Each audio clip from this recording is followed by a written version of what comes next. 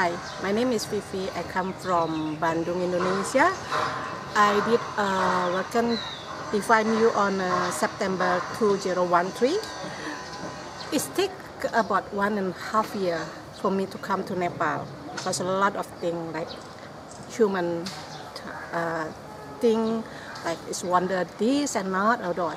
And finally I come to Nepal. It's wonderful. Um, it's changed me a lot. Uh, I come with uh, no expectation, but it's really changed me for these seven days. It's worth it to come for you. All of you is still worry or wonder what is that. Please come and join. I cannot say anything to you, but uh, look at myself.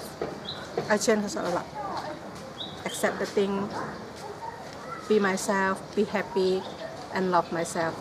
I hope after this, after Nepal, I continue to India until the end. Uh, to be good, uh, it's not for myself, for the world. At least uh, people surrounding me. That's all. Thank you so much. Thanks.